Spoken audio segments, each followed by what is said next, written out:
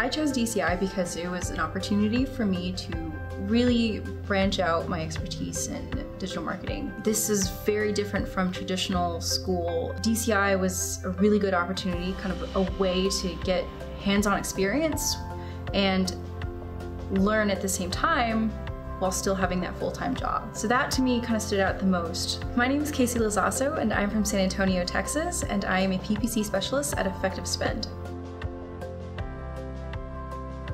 I knew in my heart that I wanted to go into PPC.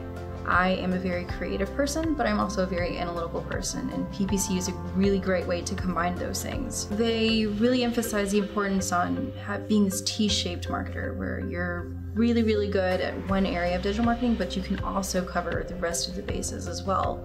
Um, like SEO, automation, all of those things DCI offers, and that's what I really liked about it. Apprenticeship kind of stuck out to me. This was not an internship, not a master's, or just a full-time job.